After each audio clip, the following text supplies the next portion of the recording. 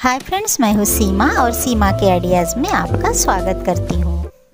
तो आज हम बनाएँगे बचे हुए चावल की एक नई रेसिपी जो बहुत जल्दी बन जाती है और टेस्टी भी बनती है। तो चलिए बनाना स्टार्ट करते हैं। मैं एक बाउल ले लेती हूँ पहले और उसमें डाल देती हूँ बचे हुए चावल, जो एक कटोरी चावल बच गया था मेरे घर में और मैंने उसको खुला खुला कर लिया था। अभी मैं यहाँ पर दो उबले हुए आलू ले लूँगी। ये अच्छे से उबले हुए हैं, इसलिए हाथों से इजीली स्मैश हो रहे हैं। अगर आलू ठीक से उबले नहीं तो उसको ना ग्रेटर की हेल्प से आप ग्रेट कर ले। अब मैंने यहाँ पर ले ली है थोड़ी पत्ता गोभी, एक प्याज कटा हुआ, हरा धनिया, और उसके बाद में लिया है मैंने करी पत्ता। करी पत्ता डालिए ज़रूर, इससे टेस्ट बहुत अच्छा आता है। तो ये सारी चीज़ें इसमें डाल देंगे, और अच्छे से स्मैश करते हुए इसको मिलाना है। मैंने यहाँ पर प्याज को स्लाइस में कट कर लिया है। आप छोटे छोटे स्क्वायर पीसेस में भी कट कर सकते हो। और देखिए, अब इसे ना हमको स्मैश करते हुए अच्छे से मिला लेना है। देखिए, इस तरह से। अब देखिए, बॉल बन रहा है कि नहीं देख लेंगे। हमको इसी तरह से इसके बॉल बना लेने हैं बाद में। लेकिन उसके पहले इसमें कुछ मसाले ऐड कर लेते हैं। तो चलिए देखते हैं क्या क्या ऐड करना है। तो सबसे पहले मैं यहाँ पर डाल दूँगी एक चम्मच जीरा। ये एक चम्मच डाला है मैंने। उसके बाद में मैं यहाँ पर डाल दूँगी आधे चम्मच से थोड़ा ज़्यादा अदरक लहसुन का पेस्ट, जिसमें मैंने मिर्ची भी पीसी हुई है। मिर्ची आप कट करके भी डाल सकते हो। बाद में डाल देंगे धनिया पाउडर है, और उसके बाद में मिर्ची पाउडर और थोड़ा सा हल्दी पाउडर ऐड कर देंगे। ये देखिए, उसके बाद डाल देंगे हम स्वादानुसार नमक। नमक डालने के बाद में हम टोमेटो सॉस डालेंगे यहाँ पर, जो किसान का मैगी का जो भी टोमेटो सॉस आपके घर में अवेलेबल हो, वो आप डाल दीजिए। इससे फ्लेवर बहुत अच्छा आता है। अब इसे ना अच्छे से स्मैश करते हुए उसी तरह से मिला लेना है। स्मैश करते हुए मिलाना है और देखिए जिस तरह से मैं बॉल बना रही हूँ ना, उसी तरह से हमको सारे बॉल बना लेने हैं। देखिए, एक रेडी हो गया है, दूसरा भी बना के दिखाती हूँ, ये इजीली बॉल बन जाता है। इसी तरह से हमको सारे बॉल बनाकर रेडी कर लेने हैं। देखिए, ये सारे बॉल बनाकर हमने रेडी कर लिए हैं। अभी चलते हैं नेक्स्ट प्रोसेस की ओर। तो यहाँ पर मैं एक छोटा बाउल ले लूँगी और उसमें डाल दूँगी तीन चम्मच बेसन। आप छोटे चम्मच से ले रहे हो तो चार चम्मच ले, बेसन थोड़ा कम ज़्यादा हुआ तो भी कोई प्रॉब्लम नहीं है। अब इसमें एक छोटे चम्मच के करीब डाल दूँगी सफ़ेद तिल, उसके बाद में अजवाइन डाल दूँगी। ये थोड़ा सा क्रश करके डालिए, फ्लेवर अच्छा आता है। पिंच ऑफ़ हल्दी और उसके बाद में थोड़ा सा मिर्ची पाउडर और स्वादानुसार नमक। थोड़ा सा ही नमक लगेगा और इसका ना एक पतला सा घोल रेडी कर लेंगे। बहुत ज़्यादा पतला भी नहीं, लेकिन पकोड़े वाले घोल से थोड़ा सा पतला रेडी कर लेंगे।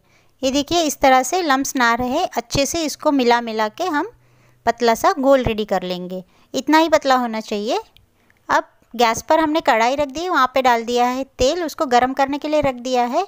अब क्या करेंगे ना, इनमें एक एक करके बॉल डाल देंगे। जितने बॉल आते हैं, उतने बॉल इसमें डाल दें। देखिए, इस तरह से। और इसके ऊपर बेसन से कोट कर ले। बेसन की कोटिंग लगा ले और चम्मच से निकाल के तेल में फ्राई करने के लिए डाल दे। ये एक डाल दिया है, इसी तरह से सारे बॉल्स हम डाल देंगे। मैं यहाँ पर बॉल डाल रही हूँ, तब तक आप, अगर आपको मेरी रेसिपी अच्छी लगती है तो प्लीज़ रेसिपी को लाइक कर दीजिए, दोस्तों में शेयर कर दीजिए कमेंट करिए चैनल को सब्सक्राइब करिए और साथ ही बेल आइकन को भी दबा दीजिए। ताकि मेरी इजी इजी रेसिपीज़ आप तक पहुँच सके सबसे पहले। तो देखिए, इसी तरह से सारे बॉल जितने आते हैं, उतने हमको डाल देने हैं इसमें। एक एक करके ये बहुत ही अच्छे और फ्लपी बनते हैं। आप इनको कड़ी के साथ में सर्व कर सकते हो, या फिर सुबह का नाश्ता हो, या फिर शाम की हल्की सी भूख हो। आप ये बनाकर फैमिली को सर्व कर सकते हो। अब इन्हें अलट पलट करके गोल्डन ब्राउन होने तक हम अच्छे से फ्राई कर लेंगे। देखिए, इस तरह से बीच बीच में पलटना है इनको। ये मैंने चम्मच लिया है, चम्मच की पीछे की साइड से मैं इनको पलट रही हूँ। गैस को मीडियम ही रखेंगे, अगर हाई कर लेंगे ना तो हमारा ऊपर से जो कोटिंग है, वो जल जाएगा और अंदर से कच्चा ही रहेगा। इसलिए हमको मीडियम टू लो फ्लेम में ही इसको फ्राई कर लेना है। देखिए, इस तरह से पलटते पलटते रहना है और हमको इसे गोल्डन ब्राउन होने तक फ्राई कर लेना है। आप एक बार इसे ज़रूर ट्राई करिएगा इस रेसिपी को, क्योंकि हमारे घर में तो रोज़ ही थोड़ा ना थोड़ा थोड़ा बहुत चावल बच जाता है तो हम क्या करते हैं, उसको एक तो फ्राई करके खाते हैं या फिर गर्म करके खा लेते हैं। लेकिन इस तरह की कुछ अलग चीज़ बनाएँगे तो फैमिली को भी पसंद आएगी और आपको भी ज़रूर पसंद आएगी। तो देखिए, ये अभी गोल्डन ब्राउन हो चुके हैं, अब हम इनको निकाल लेते हैं। बस इतना ही हमको तलना है।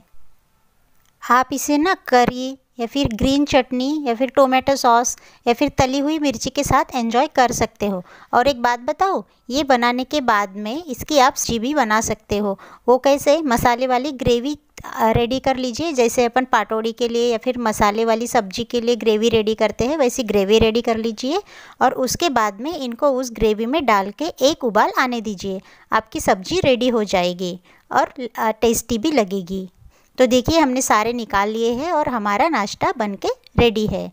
तो आप बनाइए, खाइए, खिलाइए। अब एक देखिए, मैं ये फोड़ के दिखा रही हूँ। ये अंदर से एकदम सा, एकदम सॉफ्ट है और बाहर से फ्लपी और एकदम नरम है। इस तरह से हमारा नाश्ता बन के रेडी हो चुका है। तो आज के लिए इतना ही। मिलते हैं एक नई रेसिपी के साथ में। तब तक के लिए tata thank you bye bye and take care